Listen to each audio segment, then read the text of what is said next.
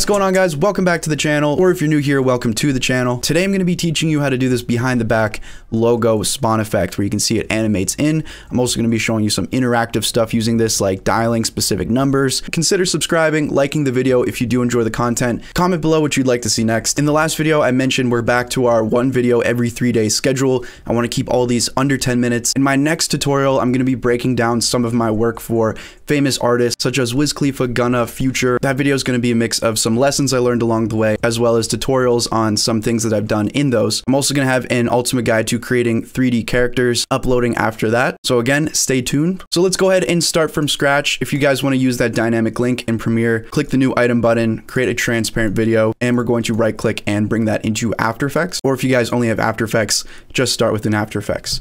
So I'll delete that transparent video here and let's go ahead and bring in some footage. So the first thing that you want to do if you want to place anything behind the back, we want to rotoscope our footage so that we can isolate this front layer. So I'm going to double click on this layer so that we are not in a composition, we're in the layer. And then I'm going to grab my roto brush tool up here in the top left. And on the first frame of my timeline here, I'm going to go ahead and just start drawing in the general area of my comp.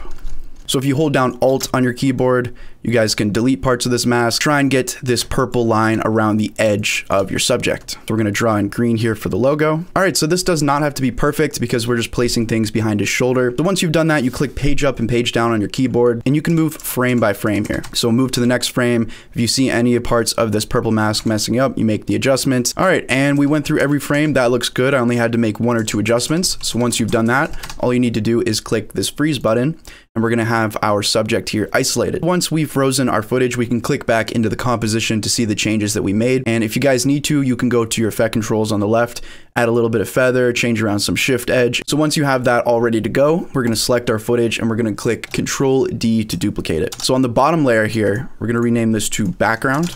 I'm going to go into the effect controls of my background layer and we're going to delete the roto brush off of there. So now we can put anything between these two layers and have it behind him. So let's set up our logo. We're going to have the glow, set up all the animation, and then we'll talk about some of the other effects going forward. All right, guys, so you can search for any logo you want. I went for the Pittsburgh Pirates logo here, obviously for that Pittsburgh influence in the Wiz vid. You want to make sure in Google Images you click Tools and under Color you're searching for Transparent so you can find a PNG image. Or of course, if you guys have Photoshop, bring whatever custom logo you have into there and remove the background and save that as a PNG. So we'll go ahead and save that. We'll click show in folder and I'm going to drag this directly into After Effects. So let's select that layer. I'll click S to scale it down a bit. Now we can grab this and put it between our isolated subject and our background. And you're going to see how that now goes behind our subject. So that's why we do the rotoscoping at the beginning. Now let's turn this into an animated glowing logo that we can manipulate, add different effects to. Let's just hide everything else. We're going to select the logo layer and I'm going to go up to the layer tab and we're to click auto trace. So here's my settings that I've been using for this. If you guys want to, you can mess around if you're not getting such a clean look. You can also see this little purple line for the preview. That's looking great. So I'll click OK and it's to create some masks for me. So if I open up mask here, you guys can see, let's show them. So now we can go to our effects and presets and we can search for a stroke effect. So under generate here, place stroke on our logo layer. So in our effect controls for our stroke, let's just check on all masks.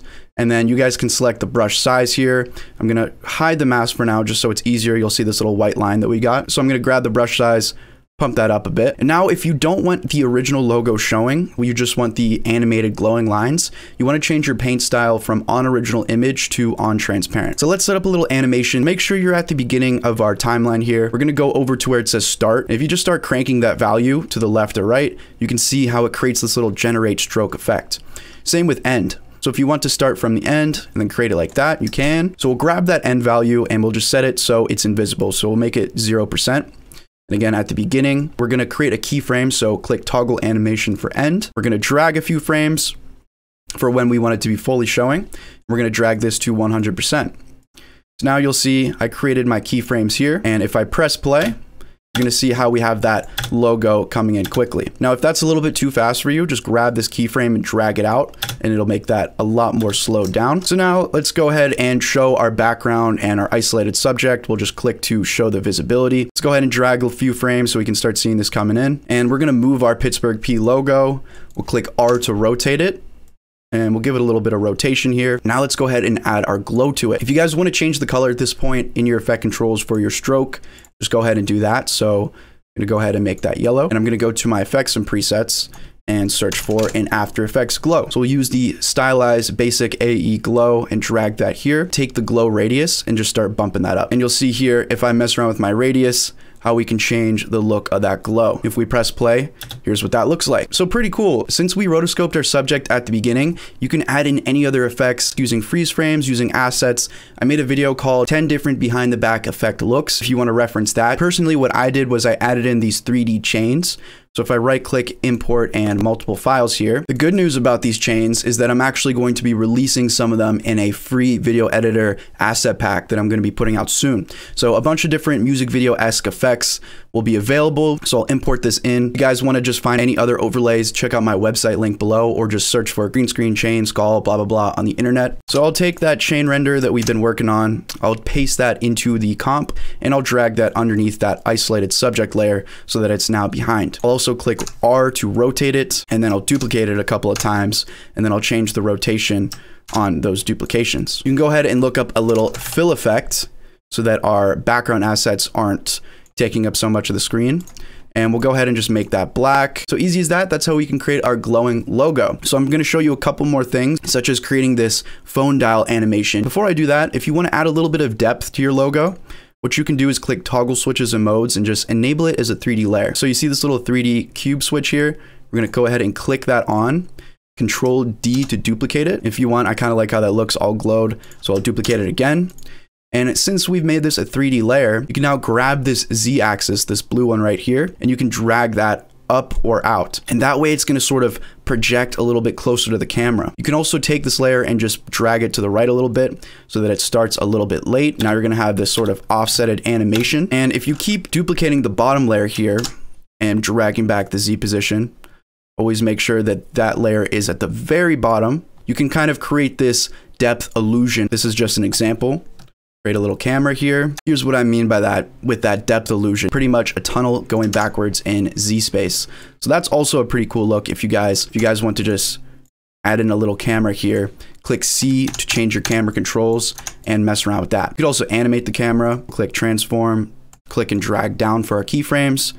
Drag to the end and we'll just zoom through and there you go we've created our little tunnel animation going through and you could keep adding to that blah blah blah. Now for our video here where we have our phone dial animation spawn in and if you didn't catch it I made it sort of dial out 412 which is the area code for Pittsburgh I think adding little things like that in your editing is just a cool way to add some spice into the video so let's start from scratch and set up our little phone animation I'm gonna go ahead and click to create a new composition I'll name that phone. Again, you want to grab your footage. I'm just going to grab that footage that we used previously. And we don't need to do any rotoscoping on this one, which is nice. To create the actual phone layout itself, I created a new composition and named that phone. So what I did was I went to Google Images and I searched for an iPhone call screen. So something like this would work fine and drag that into After Effects. Here's what mine ended up looking like. To get this so that it's only the numbers, what I did was I used a mask so I just clicked on this little masking tool and dragged it over the area that I really needed. So we have a white background with the rings of these being black. We need to invert this so that we can have these white and no background. So I went to my effects and presets and searched for an invert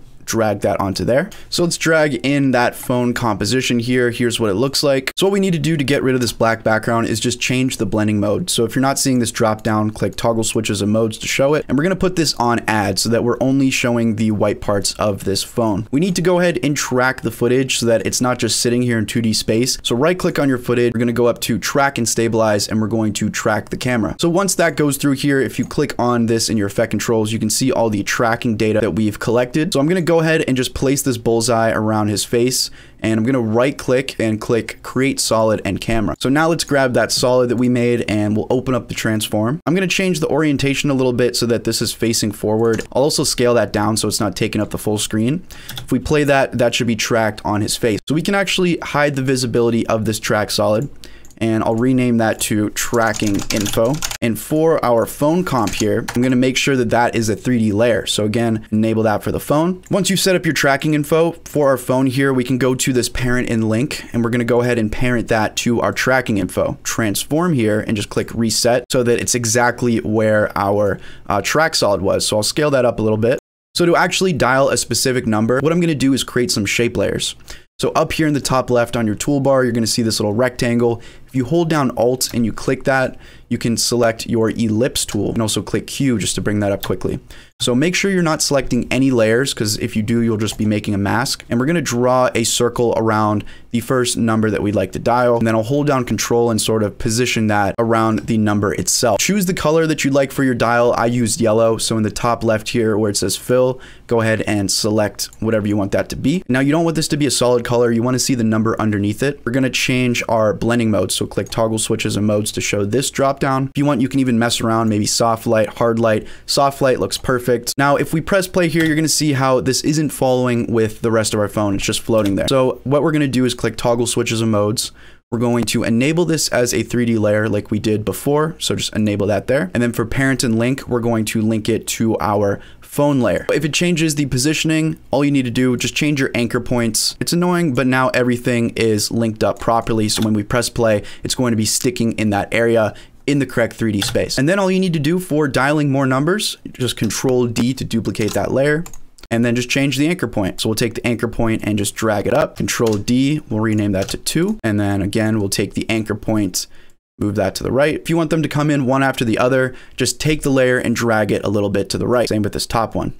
So now the four will come in, the one will come in, and then the two will come in. As always, guys, thank you so much for watching. Thank you so much for supporting, and I'll see you guys in the next one.